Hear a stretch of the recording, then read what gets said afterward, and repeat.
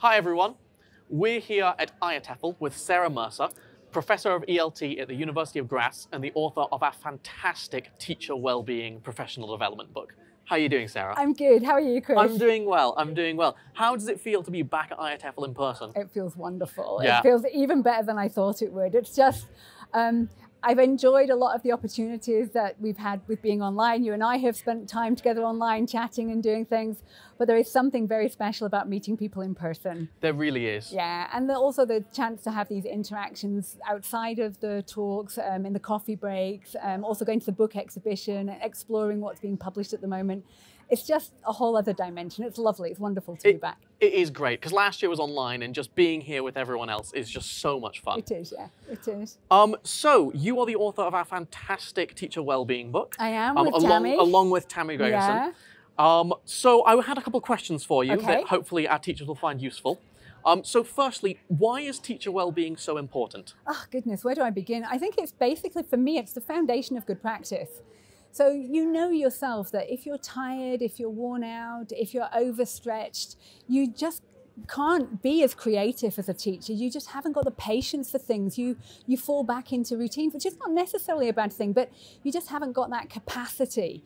So paying attention to teacher well-being for me is the foundation of good practice. It helps you be in the best possible place to teach to the best of your abilities. So for me, it's it's the basis of what we should be attending to to empower teachers to be the best teacher they can be. Absolutely, absolutely.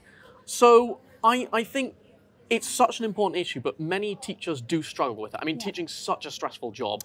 Um, what do you think one of the biggest challenges it is for teachers? Um, I think it's. I think like many people, and I think we're time poor. I think is how we refer to it. So I think teachers have an enormous um, amount of demands on their time. There's a lot of things that they need to be attending to. There's admin. There's parents. There's the, the kids themselves. There's the marking. There's the preparation. There's actually being in class. So there's just a massive amount to do. So I think uh, time poverty is an issue. Um, and I think um, after COVID, I think there are also a number of other issues coming into the classroom now that are um, changing a little bit the dynamics of what's going on in the classroom and also some of the expectations on teaching. And it's still a period of adjustment. Um, at the moment, and I think that is also quite stressful. There's new things happening, new things to deal with.